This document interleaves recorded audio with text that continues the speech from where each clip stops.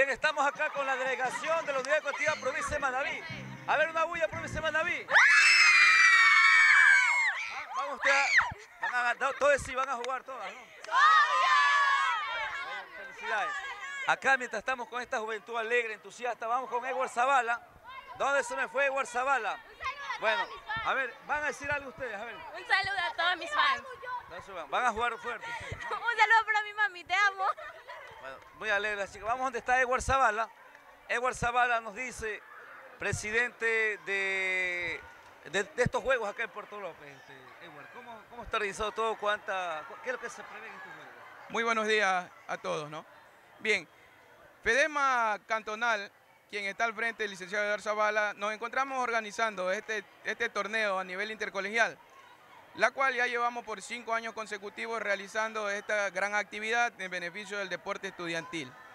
Tenemos, tenemos el apoyo del GAT municipal, tenemos el apoyo de Liga Cantonal en lo que respecta a infraestructura, nos dan las facilidades para poder utilizarlas, ¿no?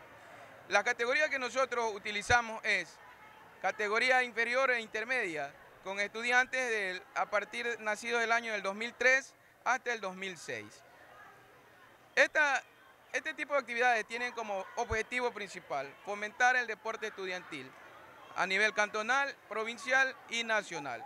Tenemos la participación de nueve instituciones educativas, en las cuales alrededor de unos 400 deportistas, jóvenes deportistas, realizaremos todas las competencias relacionadas al fútbol sala, fútbol 11, atletismo, ecuavoley, básquet y por sobre todo vamos a implementar este año natación. ¿Sí? Entonces, distintos escenarios se va a desarrollar. Sí, sí, vamos a utilizar en este caso en la cancha sintética en la que nos encontramos, estadio de Liga Cantonal, instalaciones de, de la unidad educativa Isidoro Barriga, utilizamos para realizar el ecuavoley, también la- eh, las instalaciones de la unidad educativa particular 5 de mayo.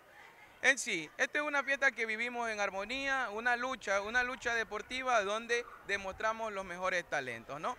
Ya, en todo caso, eh, es importante. ¿Cuántos días van a, durar este? Estas competencias tienen alrededor de un mes. Recuerden que este cronograma se lleva bien en cuenta, por sobre todo para no afectar en la parte académica a los eh, deportistas, a los estudiantes. Entonces, haremos una para en- iniciando septiembre por las evaluaciones trimestrales. Luego de eso, continuamos y tenemos en nuestro cronograma hasta la primera semana de octubre desarrollar todas las actividades deportivas planteadas. Esto no va a influ- influenciar en el desarrollo de las actividades educativas. eh, No. ¿no? No, va, no va a tener eh, una afectación directa, ya que la ley nos permite y nos ampara, es un derecho constitucional que la- el deportista, el estudiante realice cualquier actividad deportiva, ¿sí? Entonces, estamos, estamos enmarcados en la ley siempre y cuando contando también con la autorización de las autoridades correspondientes.